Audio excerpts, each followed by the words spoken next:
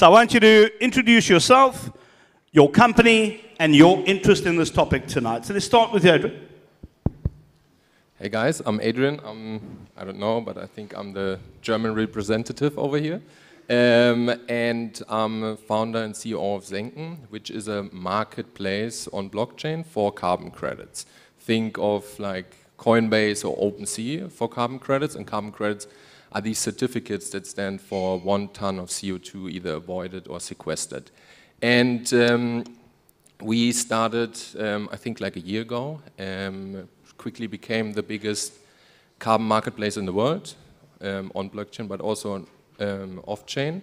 Means like 7% of the global carbon market is directly uh, tradable through us.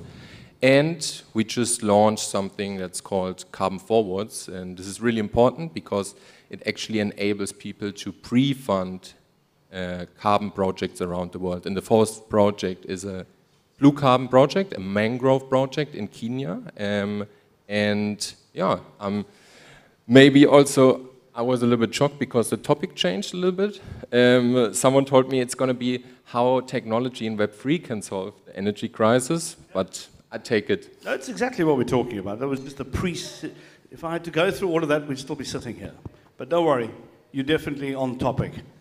So, Tyger, tell us a bit about your business. Hi, yes, I'm Tyger Geldenhuis. I'm the founder and CEO of Trust Solar. Uh, we started in about 2017. Um, we do installations, we're right in the thick of it um, as it's escalated uh, to what it is now. Um, we also suppliers uh, to, to smaller companies as well, so we both install, installers and suppliers um, in the industry. So they're just tigers everywhere, aren't they? Don't you like these politicians? I didn't even introduce him yet. No, but it's true. I mean, we've had two tigers on the street in, in the last week, and uh, now I've got a tiger next to me. My opposite number, Gwede Mantashe, they call him the tiger, or he calls himself the tiger. Um, apparently, it has to do with his bedroom antics, but anyway. Um, so I'm Kevin Mileham. I'm the DA Shadow Minister of Energy. Um, I do look after mineral resources as well, but uh, my primary focus is on energy. And uh, I guess I'm not the nuts and bolts guys. That's these these three that are, are with me here. I'm the, the big picture, the, the policy, the uh, energy, where it comes from, how we get it to the people, what, what regulations and, and uh, the like that we need to put in place to make sure that it's, it's managed properly and, and that there is a, an affordable solution to South Africa. And that's really what, what I'm trying to do is make sure that we keep the lights on and that we put affordable solutions on the table for every South African. You lost me on regulations, but thank you very much for that. you, you asked me to do this, right? So, Ahren, you don't need an introduction, but I think we do. Hi, everybody. Uh, my name is Ahren. I'm a founder of Momint. We've been specializing in putting physical assets on the blockchain and legal contracts on the blockchain uh, for the last two years. Uh, and really, we, we took a call to arms in terms of the energy crisis that we find ourselves within. And we just realized that we couldn't build a tech company in a country that doesn't have electricity to run technology. So, uh, although the business was doing quite well in the other verticals uh, that we play in, we decided to focus all of our time and attention into solar and getting solar ownership in the hands of the people. Yeah. That's amazing. Just, just one thing on, on Ahren, very quickly. Um, you know, when we talk about NFTs and Web3, there's, we, we all know in that space, there's a lot of BS that happens, right? lots of BS baffles brains. But what I love about what Momint's doing is that they actually create impact. Whatever they do, there's something tangible that emanates from that, which is, which is why it's always a, a pleasure to be doing this sort of stuff with you. But let's hop right into it. So the African National Congress came out and said, hey, we've got a national state of disaster that we're going to be putting in place, right? And I had lunch with an ambassador today going, what the F are they thinking? Because the last time we had a national state of disaster, all the comrades stole as much from the coffers that they could. So my question is, what the hell is a natural national state of disaster? How is it going to help us? Now, so you have called for a ring-fenced national state of disaster. I don't know what ring-fenced means. Does that mean only some comrades can steal? Um, so what, what, what I have to get some clarity on this. So, so let's, Yeah. let's back up a step. We've had load shedding since 2007. End of 2007 was when load shedding first started. Yeah. We've known about this crisis that, that we were going to run out of electricity since 1998. In the white paper on energy in 1998, government, they, they, they adopted it as policy. And it says, if we don't build new power stations, we're going to run out of electricity by 2007. And that's exactly what happened. So then in 2008, they rushed the building, the tenders for the building of Medupi and Kusile. And everyone knows where that ended up. 15 years down the line, we, we've got two massive, the two biggest coal fired power stations in the world, hundreds of billions of rands over budget, years behind schedule, neither of them functionally complete. Uh, Kusile has only got one generating unit out of six operating. Medupi's got four out of six operating, I think it is at the moment. Not exactly sure. Um, and they've had uh, unit four at, at Medupi was brought online, and a month later it exploded. Now, a lot of this has to do with exactly what you're talking about, Kino, is that the, the corruption and maladministration and incompetence and cadre deployment and the like. And it's part of the reason why we're taking the ANC to court over cadre deployment.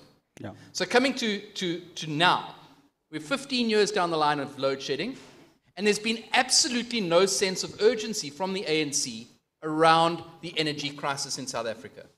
And it's only now that the outrage has gotten to a point where we have stage six load shedding on a regular basis, where we've had load shedding every single day this year. It's the first year ever where we've had load shedding every single day.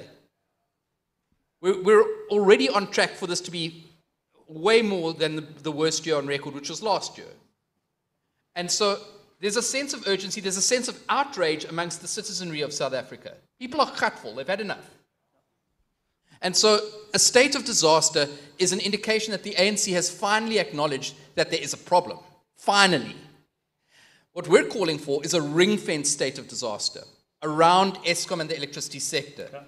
Which, which basically means that we're not asking that people stay off the streets and that you lock yourself into your, your, your house for three weeks or three months or three years or whatever it might be, like the COVID pandemic. What we're saying is that the, the, the regulations and the, the um, procurement processes and everything that we do in terms of this disaster is very, very focused around sorting out this energy crisis and sorting out Eskom. It's those two things sorting out energy crisis, sorting out Eskom. That's what we want to do. Yeah, I mean, listen, we can go and get into a huge discussion around this, and I will not bore anybody. But um, an interesting fact: way back when, when we talk about Kusile and Medupi, right, the power stations that you've been talking about, there was one person, one person who was chairperson of Eskom, and he was also the chairperson of the fundraising committee for the ruling party. What could go wrong?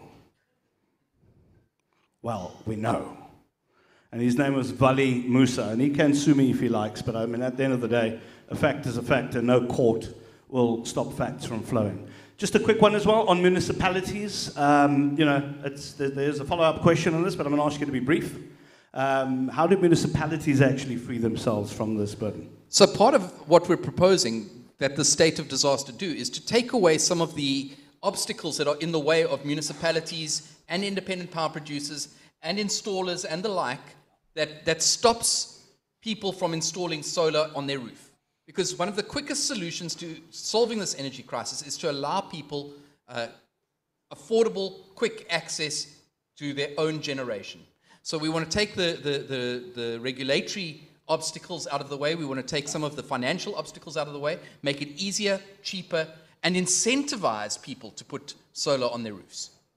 Okay, listen, I mean, a- a- absolutely, which is why I'm, I'm amazed, not amazed, I just think it's, why didn't I think of that uh, when I heard about what SunCash is actually doing? But Tyger, let's go to you. Let's just uh, look at this particular question in particular, right? With the right funding, do you think that solar could become a stable source of renewable energy?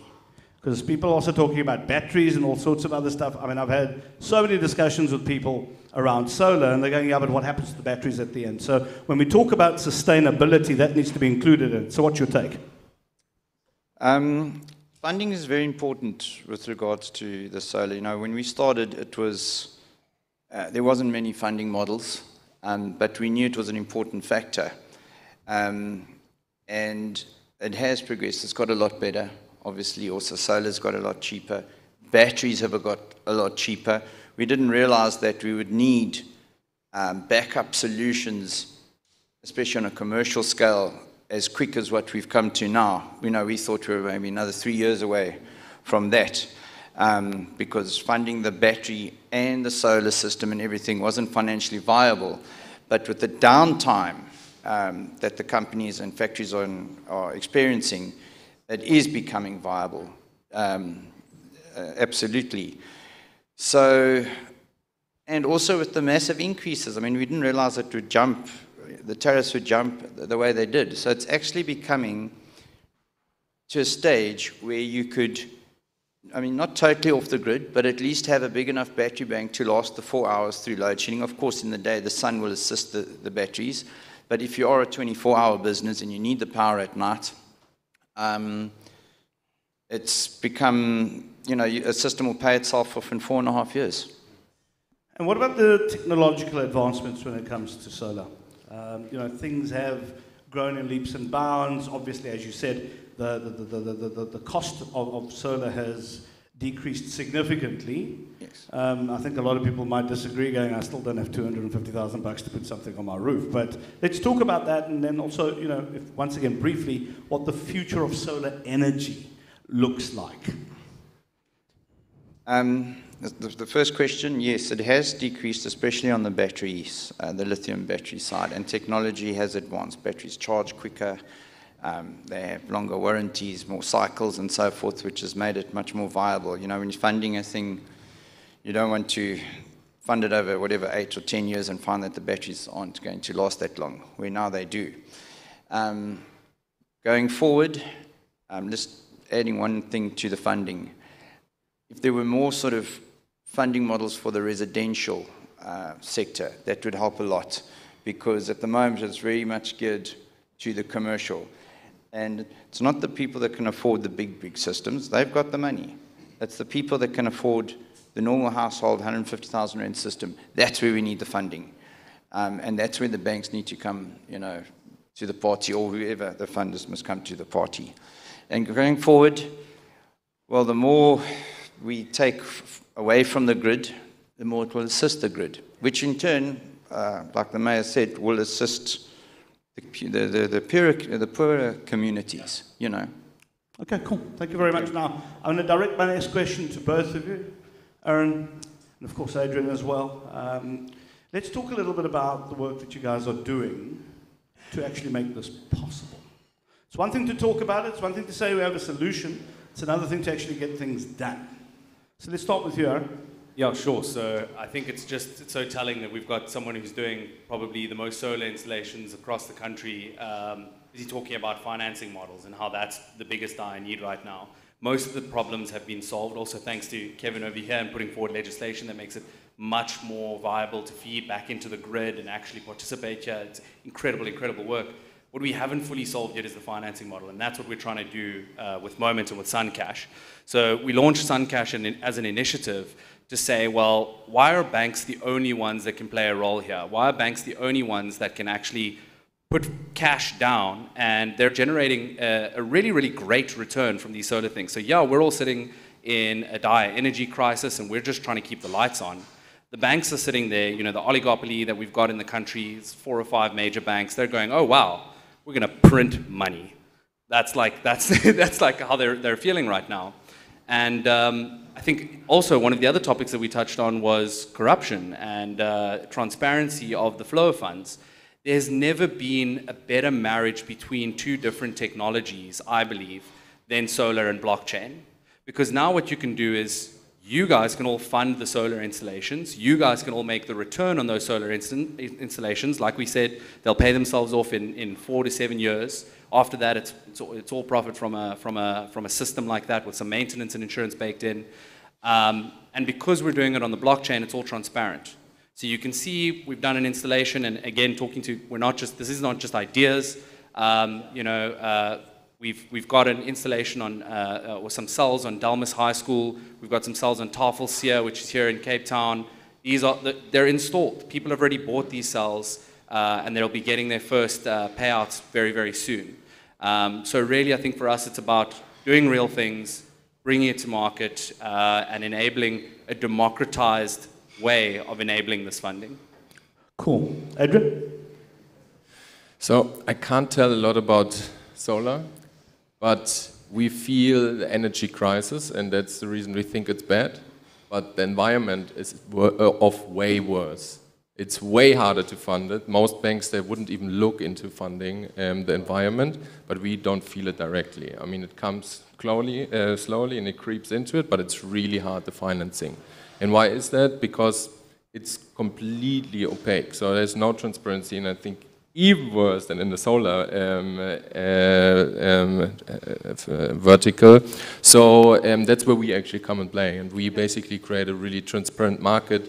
Um, and the transparent market is really important because if you don't have a transparent and then also liquid market, no institutional investors or no banks will will come because what happens if you and that's in the space where we are when you fund a climate project. Um, of course, some people do it because um, uh, philanthropic reasons, but I think you can't scale funding into climate if you just look out of uh, philanthropic reasons. You need to implement it into the economy. You have to implement into capitalism, and it sounds bad, but you can't change a system just from one year or the other. Like capitalism, it takes forever.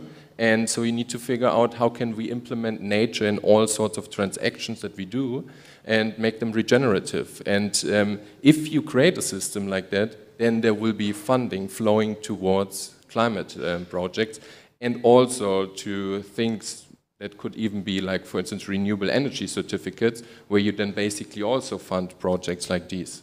And that's what we're doing. Excellent. Thank you very much. Now, at this particular point, I'm going to open up to the floor. So if you've got any questions to the panel, please put your hand up. I'll come to you, give you the mic, and we can get rocking and rolling. So while you're thinking about it, I might come and choose a question as well. So if you give me good eye contact, I normally don't come to you. If you look down at your phone, I normally do.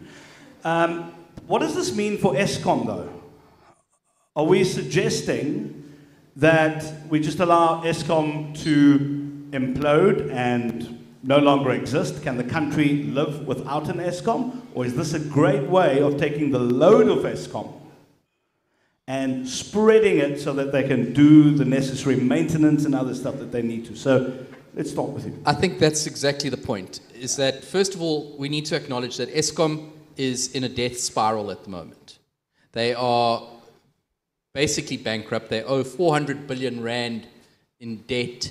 Um, they can't build more power plants. They can't upgrade the grid. And these are things that they desperately need to do.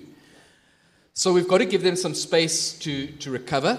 And we can only do that. Part of the reason why we have load shedding is because our, our power plants are old. When I say they're old, the, the majority of them are more than 30, 40 years old. And that means that they're falling apart. They're held together by spit and chewing gum. And, and so you've got to, to, to switch off a generating unit, you've got to be able to, to turn on something somewhere else and, and take some of the load off. And that's exactly where going off grid um, or, or going grid connected with solar or the like um, allows you to ease the burden on Eskom. Now, ultimately, what, is, what does the future look like? Well, I think it looks like a, an Eskom that's split, where what Eskom's primary role will be will be the transmission of electricity. And, and generation will be independent power producers, it'll be solar farms, it'll be wind farms, it'll be self generation, and the like. Um, but, but Eskom won't be in the generation game. Maybe Koeberg, maybe one or two of the, the newer plants, but the bulk of it will be uh, smaller generation and, and independent power producers. So they will focus on, on transmission. The distribution will be handled by municipalities. We've got a way to go to get there, but Eskom's going to be with us for the foreseeable future. I mean, we, we, we don't have the, the spare capacity to switch off Eskom tomorrow. We've got to keep Eskom alive. So I have two questions. Um, uh, my name is Nicole Merkin, and I'm the founding director of Fight Back South Africa. I have two questions, uh, one being for Man from Parliament, and the other two perhaps for Trust Solar and the SunCash Initiative. My first one is President Ramaphosa announced on Monday that um, they're obviously affecting a national state of disaster around our energy crisis.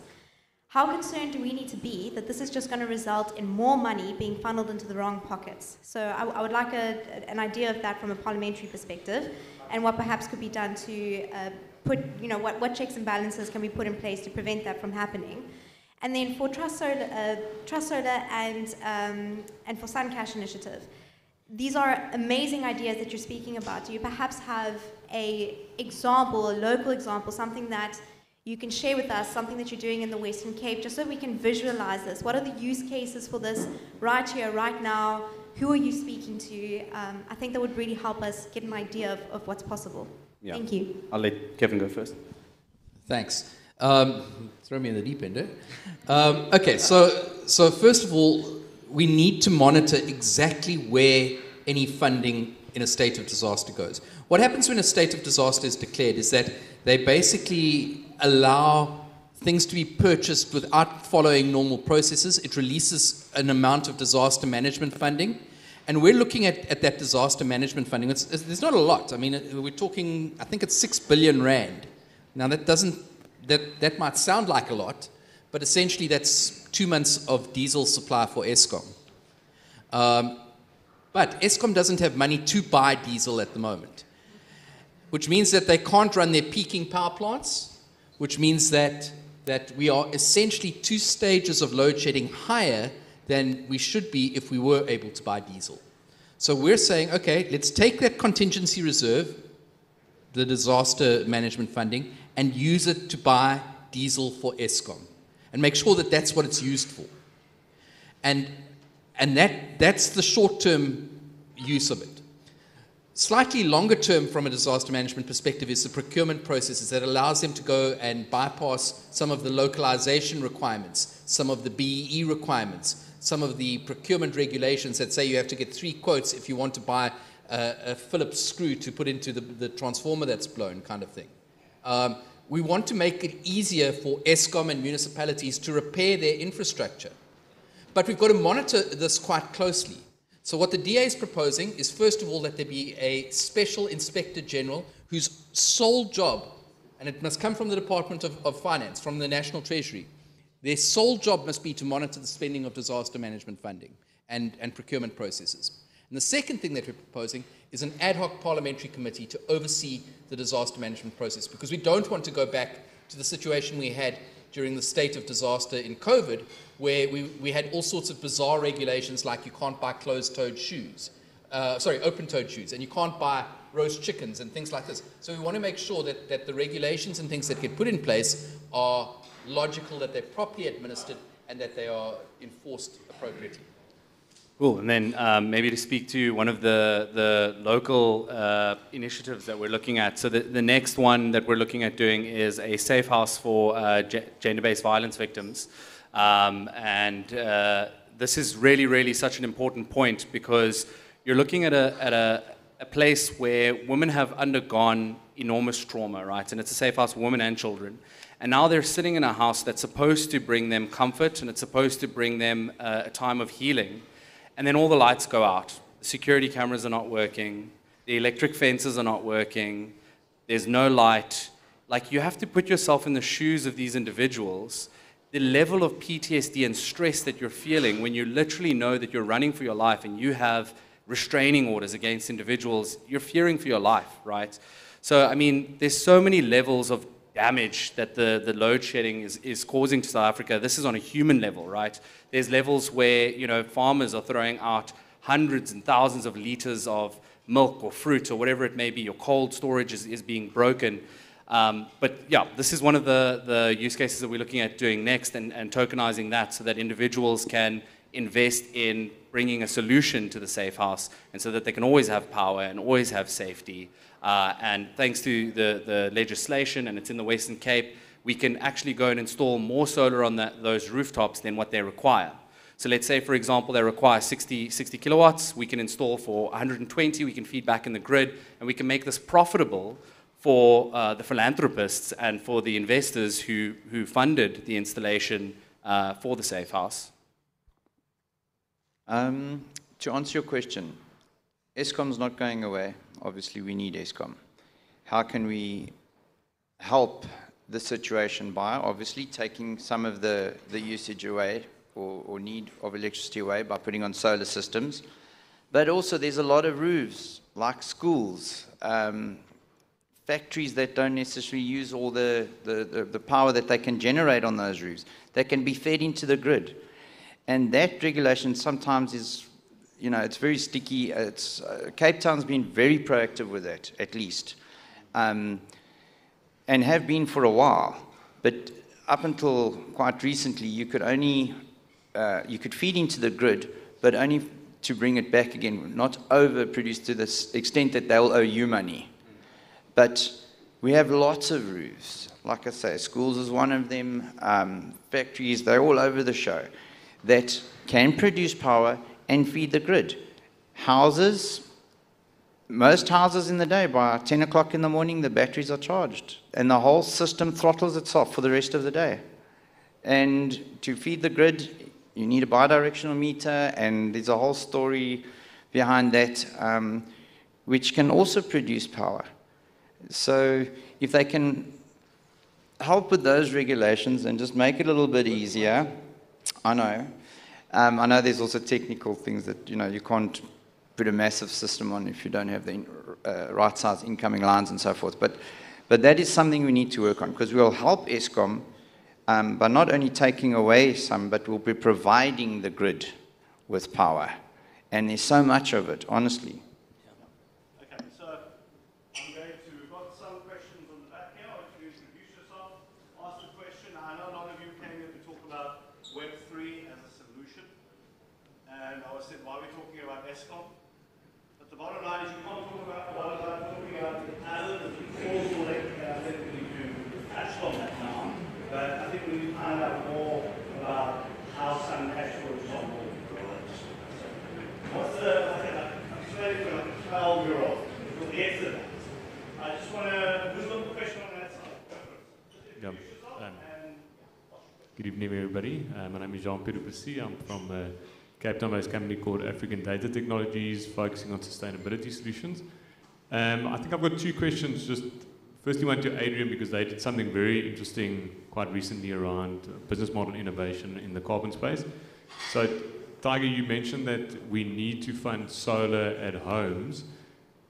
You mentioned regulations, and I'm guessing that's quite a big aspect of that.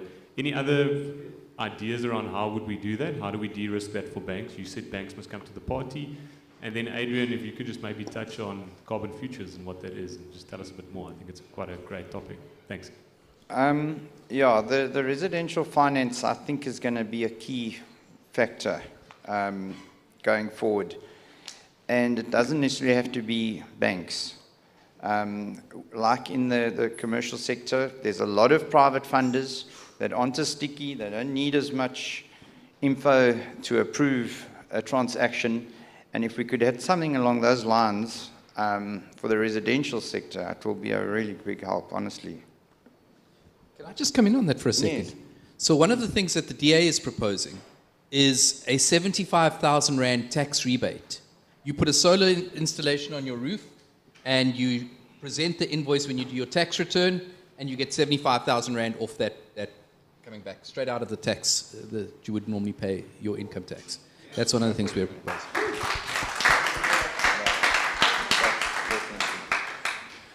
So yeah, when I looked at the um, whole solar thing, I always thought like blockchain is an incentivization machine, right, and a trust machine. And if I look at um, what is needed, you need a lot of incentives. You need to punish certain kind of actions, and you need to reward certain kind of actions.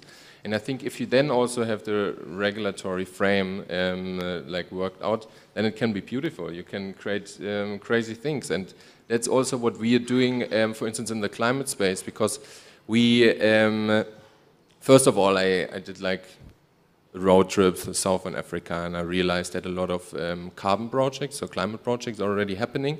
And um, because it's so opaque, so intransparent, um, mostly only like 10 to 20 percent of the actual funding arrives at the project itself. Um, why so? Because there's no real incentive to actually have it transparent. Uh, it, it's just not there. And um, the other thing I realized is there is so much, so much uh, um, land. There's so much also um, workforce, but the funding is missing. Not only for for solar, but also for climate projects.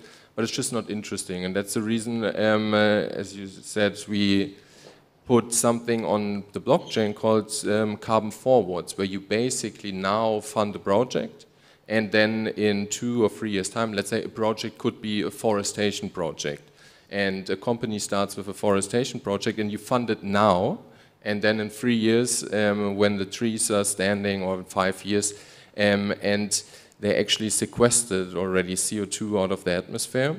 Um, this forward you invested in, let's say for instance for $5, now turned into a carbon credit which is worth let's say $20 and is really interesting for corporates around the world in order to compensate for their emissions.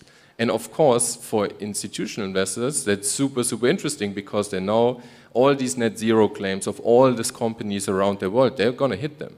And not only for companies, also for governments, um, for countries, they have net zero goals. And I can promise you most of them will not solve them and they will not reach them. So they have to figure out how can they funnel money into climate projects around the world. And before, all these um, deals happened over the counter means basically, and no joke, all the, all the deals happened over phone. It was literally um, someone calling, hey, I need some forestation credits. Can you, can you procure some? And that's how the whole market worked out before. And then it's no wonder only 10% um, arrived. And then the other thing is 90% of these climate projects are in the um, global south. And 90% of the buyers of these carbon credits are in the global north. And if you create um, a transparent um, infrastructure for that where uh, these incentives are in place, then you can create a beautiful um, structure in order to fund these projects around the world. And you were talking about local use cases. We, for instance, now have a project um, right next to the Kruger National Park, um, a forestation project. And um, it's, it's crazy how um, quickly you get institutional investors um, uh, uh, motivated to go into these projects if you show them that there's a transparent market where not 90% is wasted um, through intermediaries or something, and then in the end can sell these um, credits with a win, but on the other side also had a really good impact on, on the planet. So could I quickly ask you just one quick question, Please. and then i will answer Kino's question is, uh, so you guys have introduced transparency, and you've introduced an open free market, right? That has produced a level of growth, right? You tell us, like, what has that growth trajectory been? Like, give us a number, like percentage ARR, like, what does that growth look like? For who? For Senken. For us? Yeah. Um, so I think first two things. I think it's quite crazy. Um, the return of investments of these forwards is nowadays in the area of like 30% a year for institutional investors yeah. because um, the, the growth is it's just happening. Like the demand for um, um, CO2 actually be taken out of the atmosphere is like crazy. Um, for us itself, um, I mean, I just said uh, before, uh, we 7% of the global carbon market is tradable through us. Big. And why? Because before all these uh, exchanges and so on, they had to build up their own inventory, which is always a friction. You have to buy something somewhere, you have to put your margin on top, and then you charge, uh, you sell it again for like 20%. But you have a lot of cost with that. So what we actually created through blockchain is that whenever there is a supply of a carbon credit somewhere, let's say a, a developer has a credit in their registry or some other protocol, maybe even uh, you at a certain point have it sitting there, we directly can access that infrastructure because in the blockchain, it's permissionless. Means like, as I mentioned before, blockchain is a trust, trust machine, right? Because I can trust you that this has certain kind of um, date, underlying data and um, a buyer can see that as well, so can access that directly. Yeah, and it's it's immutable, right? Like no one can go and fudge that afterwards. And I think this is this is again so where I want to bring that to is we see a model in Germany working, right? Working to great success. We can take that exact model here to South Africa and look at all of the points that individuals are speaking about here, South Africa uh, is less concerned about climate, right? So there's a huge need in, in Europe and there's targets that have to be met. I think we all sort of realize Africa produces like 3% of the carbon emissions of the world. We're less concerned about that slightly. We're if you look at the per capita in South Africa, it's one of the worst countries in the world.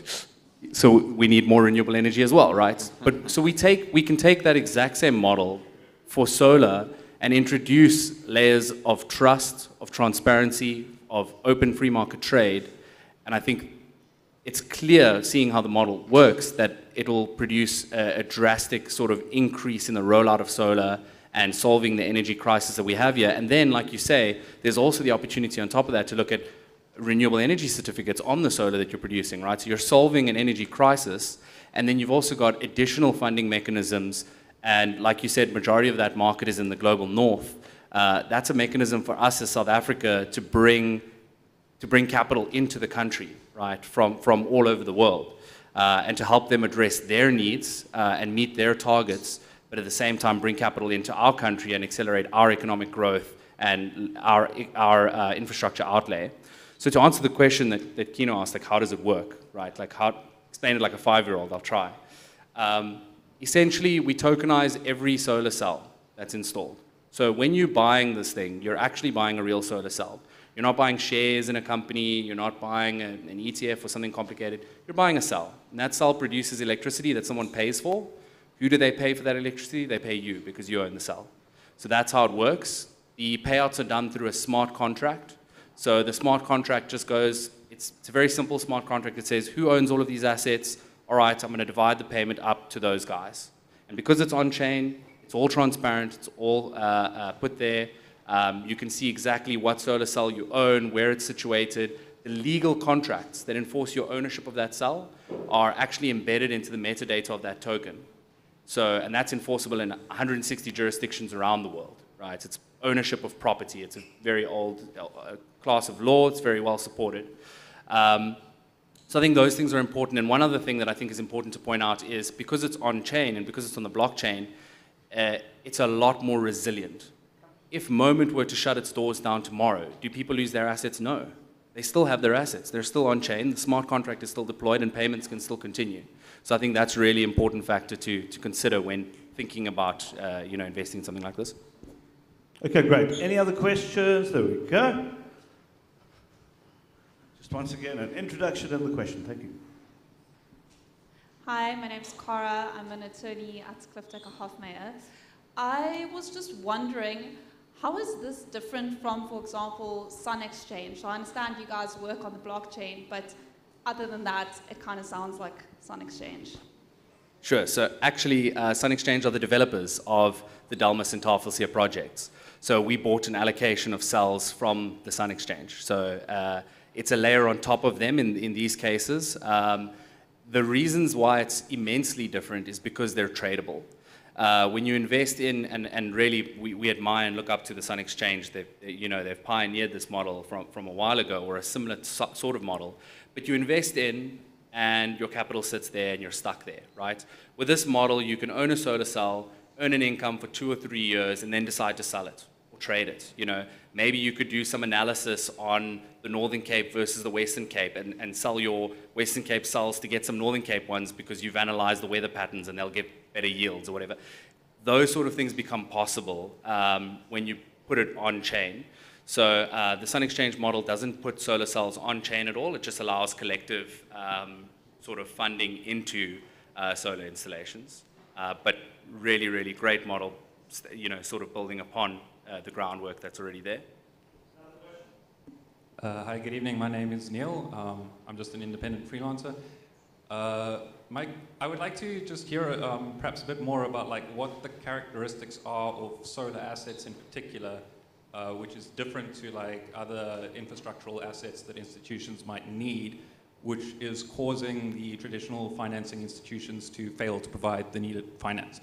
Um, th- thank you.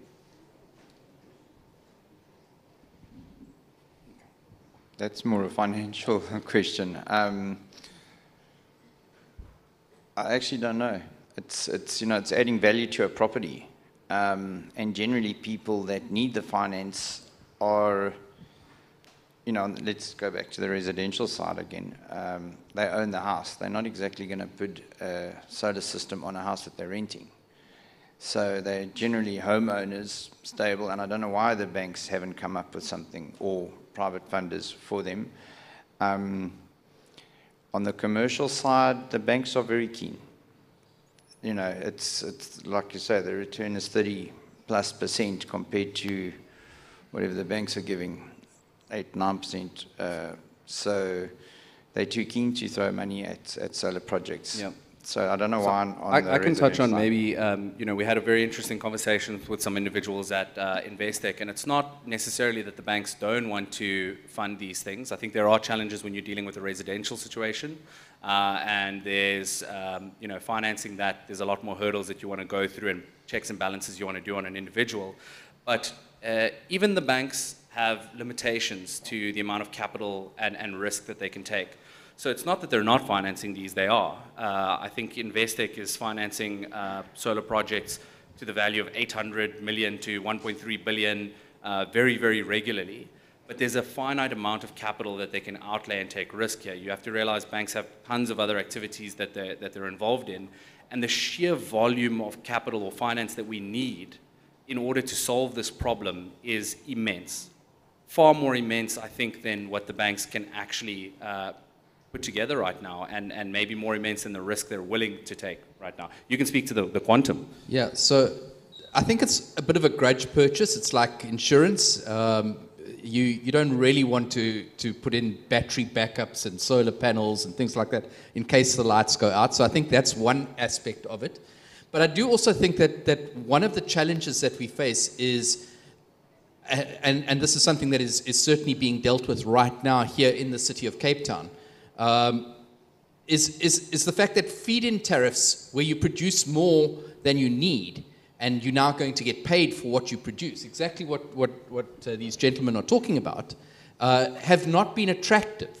So the feed in tariffs have not been worthwhile for, for anyone to invest money in, in solar uh, more than, than the bare minimum of what they need. So that's the first issue, is we need to, to push feed-in tariffs to a point where they are attractive and there's a return on your investment. The second factor that, that we need to look at relates specifically to, to the issue of up until now, and Cape Town is the only place where this is, is not true anymore, uh, you had to be a net consumer of electricity. In other words, you had to use more than you produced, that you, than you fed back into the grid. So that's changing. That's changing right now here in Cape Town. I'm busy proposing a, a private members bill in Parliament. It's, it's basically the solar incentive bill to, to force government to roll this out across all municipalities to make it easier for any resident anywhere in the country to do exactly what, what is being done here in Cape Town.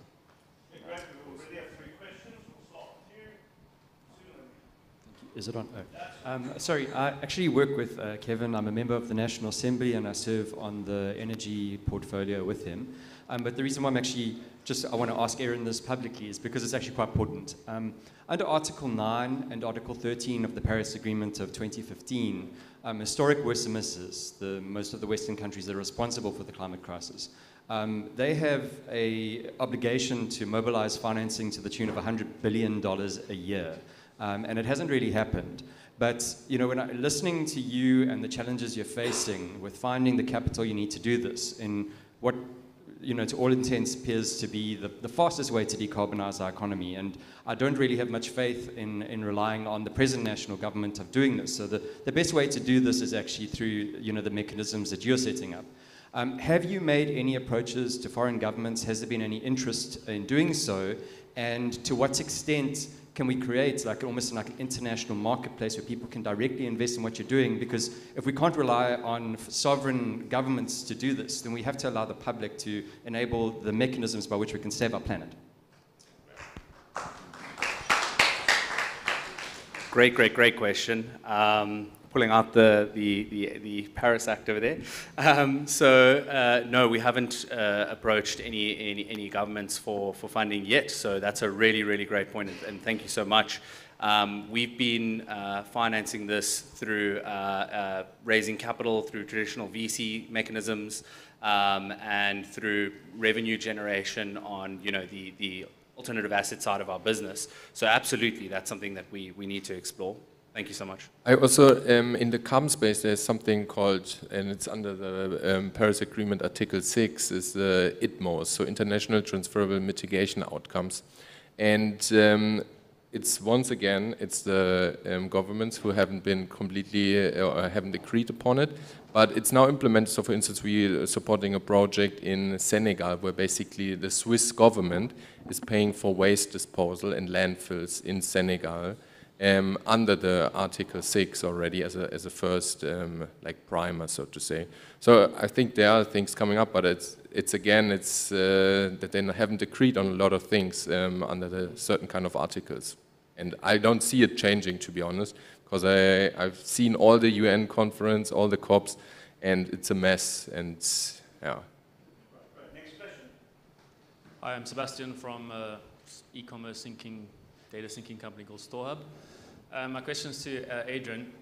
I don't know too much about uh, carbon credits and the jurisdictions that you know the company's based in, and you know where they derive the, the benefit from. But can a company in you just kind of briefly touched on it. Can a company in Switzerland approach your company and get carbon credits from a jurisdiction that's outside of the framework that the company is incorporated under? Yeah, so first of all, from science, it doesn't matter where you take the CO2 out of the atmosphere. It doesn't matter. So first of all, from science um, point of view, and then yes, they do, um, they can come to our platform, and I think most of our, like I think every single project um, on our platform is in the Southern Hemisphere.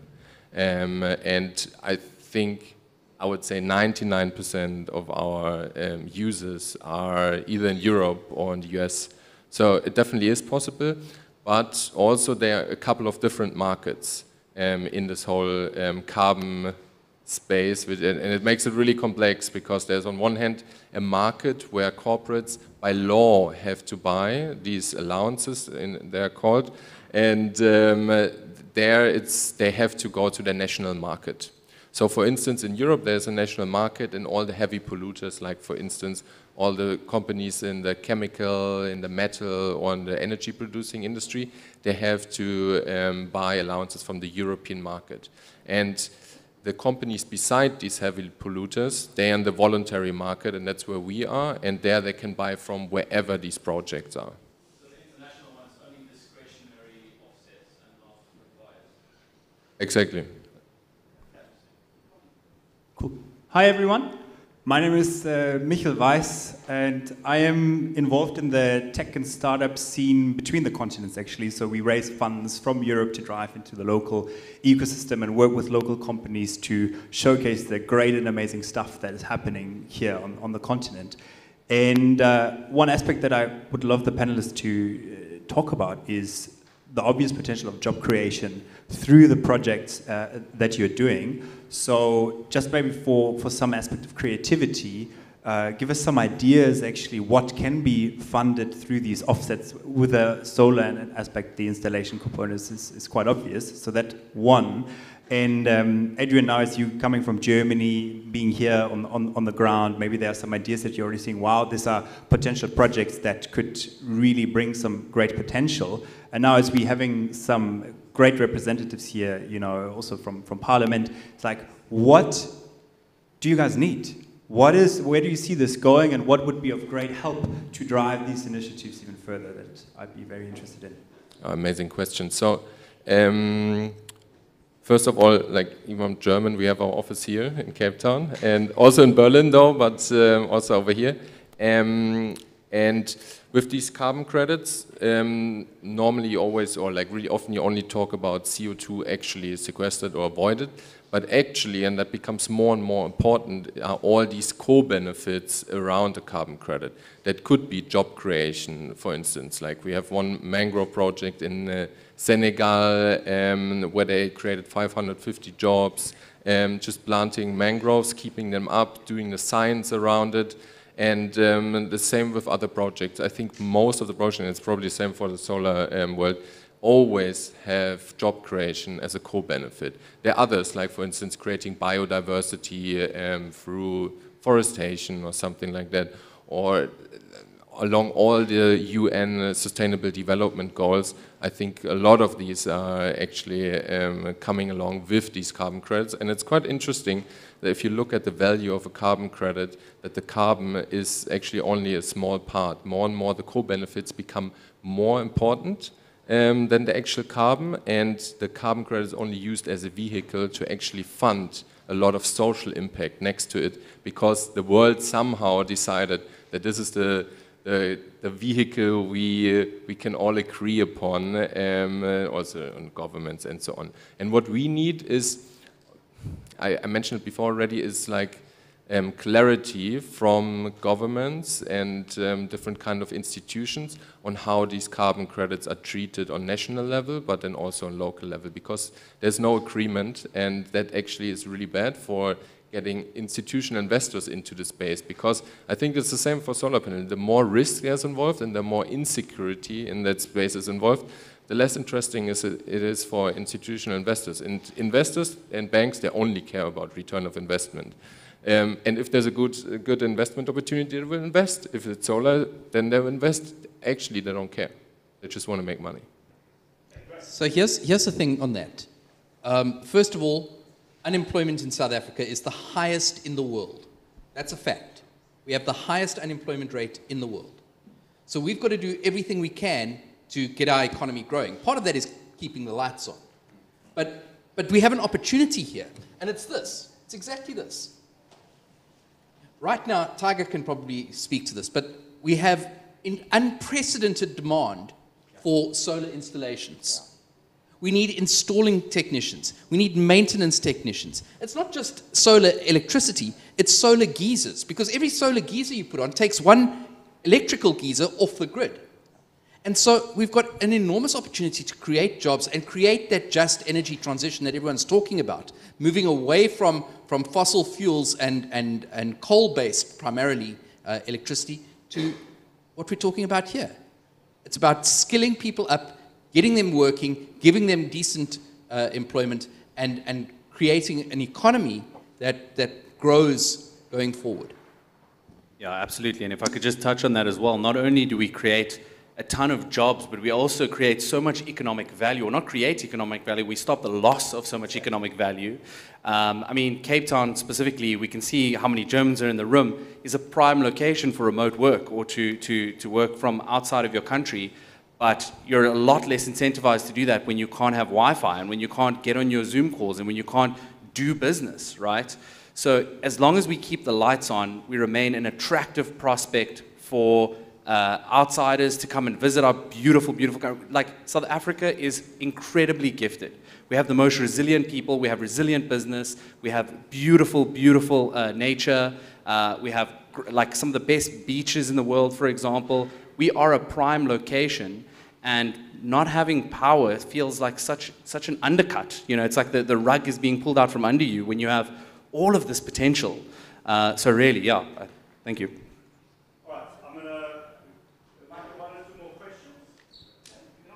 Hi, uh, Kristen Engellier from the Cape Argus. I'm a journalist and I cover environment and energy, sometimes politics matters. Um, so just in the age of the worsening energy crisis in South Africa. This has definitely accelerated the uptake of solar energy. I have two questions. What would, what would the uptake of solar energy have been if that didn't happen? Just out of curiosity. And then also, what is the full potential of solar power in South Africa? I know right now it's being used, um, it's being used to assist, like everyone's mentioned, to alleviate to alleviate the pressure on the power grid. But what is the full potential of solar power in South Africa? Like, does it have the potential to power the country? Does it not? And if not, then what is its potential in South Africa specifically? So from my perspective, I would say absolutely yes. And the, the, I, I, can't answer the question on what the uptake would have been like if we didn't have this energy crisis. I still believe there was already a strong push towards solar energy. Uh, there's numerous benefits to solar. Um, it's, a, it's a renewable energy source. Uh, you know, it's free energy until the sun decides to send us an invoice for all of its hard work. Um, so I think there still would have been an uptake, but of course it's been accelerated now. The potential is immense. Uh, I believe, uh, and I hope I'm not wrong on this one, but in our research we found, uh, I'm from the Northern Cape, Kimberley, small little uh, mining town. Uh, the highest solar efficiency in the world that you can get is in the Northern Cape. It's effectively a 50% efficiency rating because the other 50% of the time the sun is down. Like, you can't get better than this, right? Uh, we, like I've said before, South Africa has an abundance of many things, you know, people, resources, minerals. Sun is also one of those things that, that Africa has an abundance of. Uh, land is something that we have an abundance of right now. Uh, a young population is something that we have an abundance of right now. All of these factors are like ingredients mixing, mixing in a pot for, for an incredible, incredible solution. And I believe that not only would it solve the, the crisis that we're in right now, but it will help us leapfrog much of the rest of uh, the world into a new standing where we have decentralized, resilient energy infrastructure that, uh, you know, I mean, central power structures are just a bad idea, uh, like straight up. America uh, underwent this very recently. They had an attack on one of their power stations. Very simple attack. Somebody shot it with a gun and their power went down. Central power stations are not a good idea for resilient energy in a country solar is completely decentralized. If you have solar in your house, somebody else's power infrastructure gets shot, you've still got power. You know, that's, that's the reality of it. I just want to pick up on the potential. Vietnam in 2019, 2020 incentivized the rollout of rooftop solar. And they did it through the feed-in tariffs, they did it through uh, incentivizing installations and the like. And they put a, a limited time window on it in six months, they added 8.6 gigawatts of electricity onto their grid. In fact, they've now got more than they need in Vietnam. And in South Africa, our shortfall right now is between 4 and 6 gigawatts. So if we could do that, we could essentially alleviate the pressure on Eskom enough to allow them to do the repairs, to make sure that we don't have load shedding, and to, to come back to your question about is there, enough, is there enough solar to power everything? You know what? If we can just alleviate that, that gap, Eskom's power stations, its coal power stations, Koeberg, the gas power stations, and the like, will then pick up the slack and, and uh, manage the, the industrial demand and the like. I think there's also quite interesting picture. Um, where it shows like how much solar um, panels do we need in order to power the whole world. And they put like a square in the Sahara Desert. And if you take that square, it fits quite easily on uh, Northern Cape and only a part of the Northern Cape. So actually South Africa would have the power to, or the, the resources to power the whole world. So that's, I think, an easy answer. Um, yeah, coming back to your, your uh, question, even if there wasn't load shedding, and perfectly cool we didn't have load shedding, uh, it would still be viable to do solar because of the cost benefit. Electricity and tariffs are going up at a radical rate. It's cheaper to pay off a solar system, a grid tie solar system, um, than pay for the electricity that it generates. So that's where we're at. It's actually a no-brainer for a company to put solar on at the moment. That's where we're at.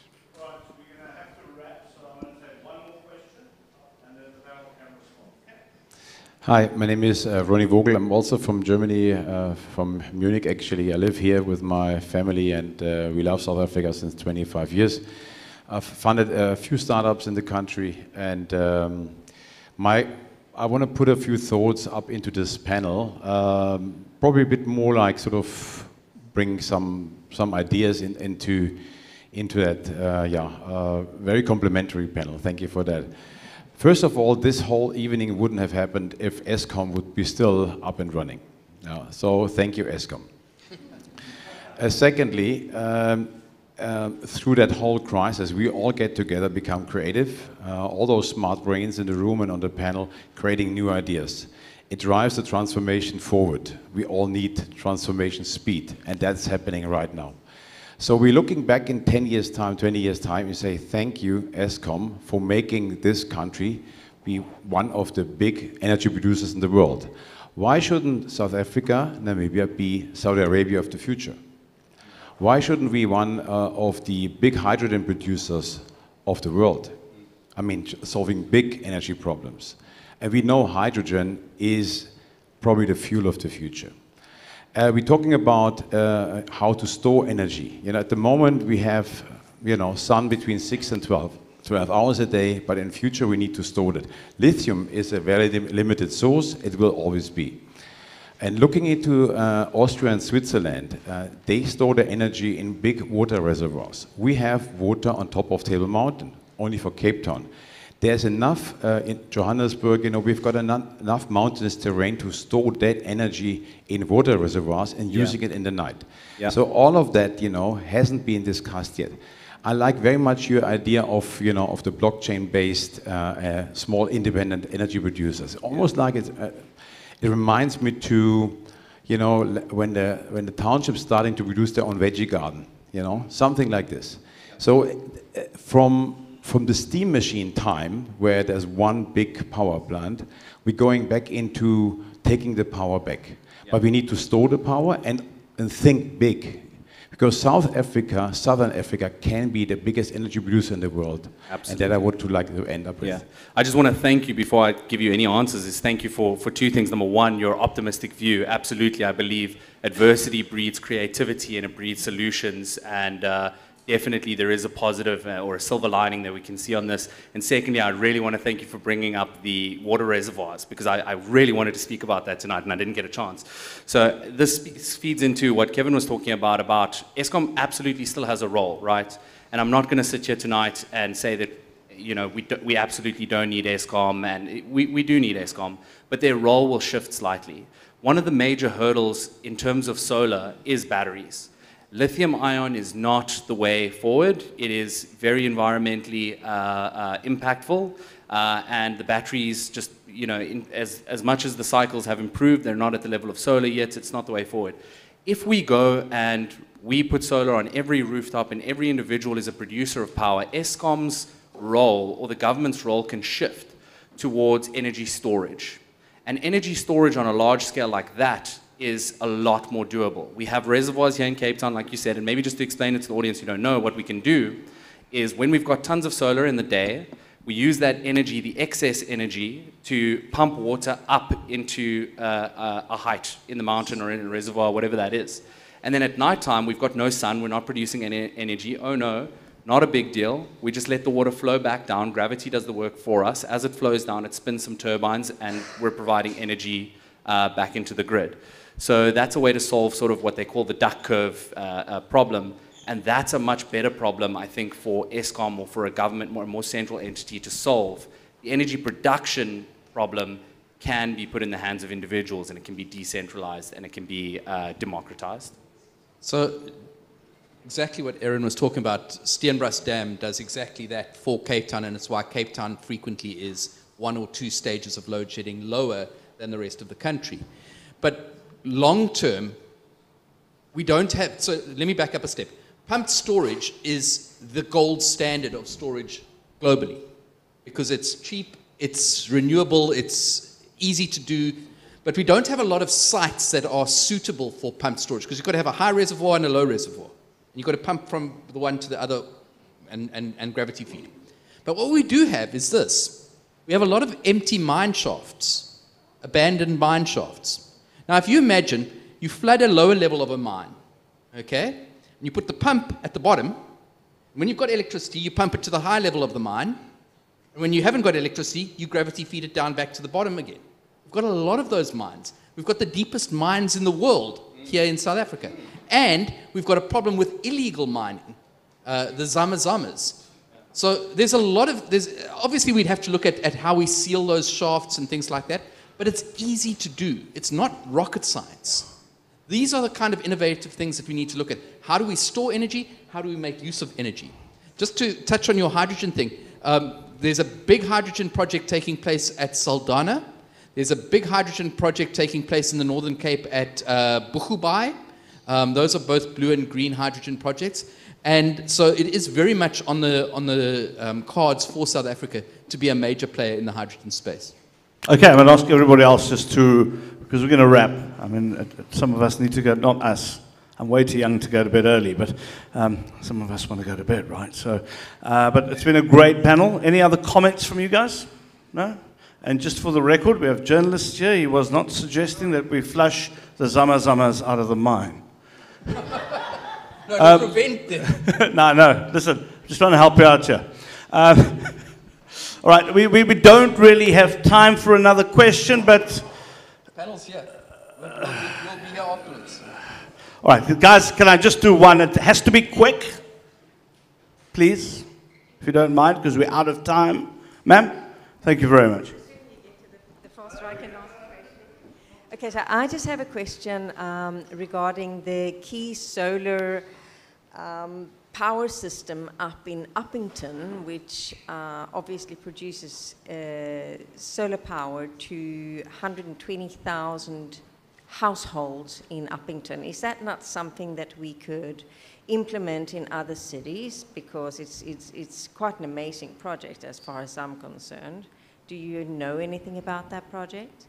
So that, that project is part of a program, a government program called the Renewable Energy Independent Power Producers Procurement Program.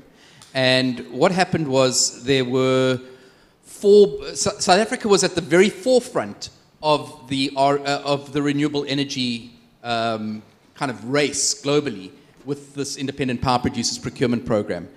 And we went through four bid windows, and then we got to 2015, and Brian Molefe and Matshela Koko took over at Eskom.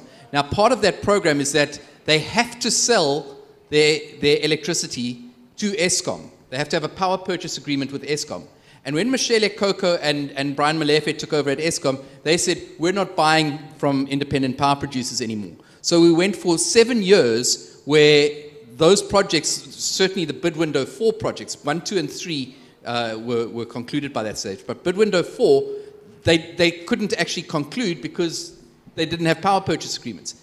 That's now been kick-started again, and we are busy rolling out new bid windows. But we've got a problem. And the problem is this. Solar is primarily in the Northern Cape, and wind is primarily on the southern coast of the Western Cape and then into the Eastern Cape we don't have enough evacuation capacity on our grid to take that where it's needed.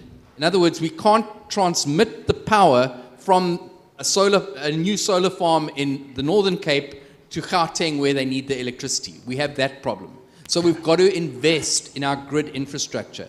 But it is something that is happening and it is something that, that is rolling out quite quickly, actually. Um, and, and the pricing of, of both solar and wind, the, the price per kilowatt hour that, from those farms has dropped significantly to the point where it is now cheaper than uh, either coal or nuclear in South Africa. Okay, I almost said order, honourable member. You went over your time. But thank you. Listen, thank you very much to everybody for being here. But let's hear it for the panel, please. Thank you very much, Adrian. Thank you, Tyger. Thank you, Kevin. Thank you, Ahren, for the great work you're doing. And now let's pretend this is the end of a Sting or any one of those other concerts, please. Please make some noise for yourselves. Thank you very much. Here's to the future.